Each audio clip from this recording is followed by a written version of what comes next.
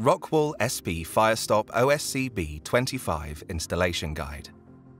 A dedicated solution designed to resist the passage of fire and smoke in ventilated rain screen cavities.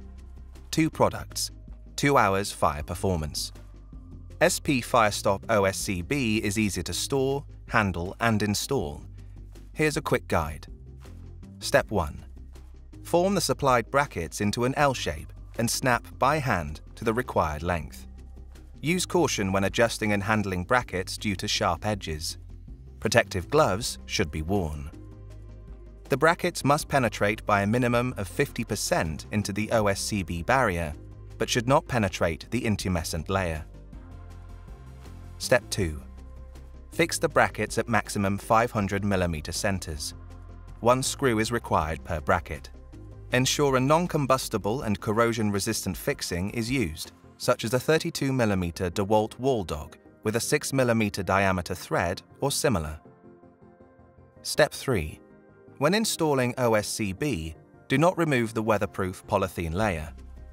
Impale OSCB onto the installed brackets at mid-depth, ensuring that the intumescent strip faces the open airspace.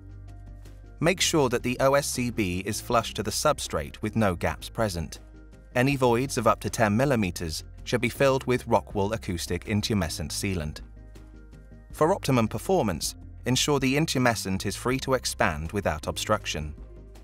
Ensure there are no gaps between adjacent sections of OSCB, but do not tape adjacent sections together or place anything over the face of the barrier.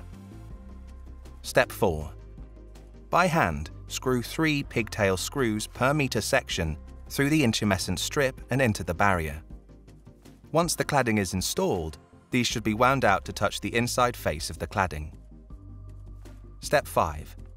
Ensure that the airspace does not exceed 25mm and that all of the pigtail screws are in contact with the cladding panel. To find out more, visit the Rockwool website to download the SP Firestop OSCB Contractor's Guide.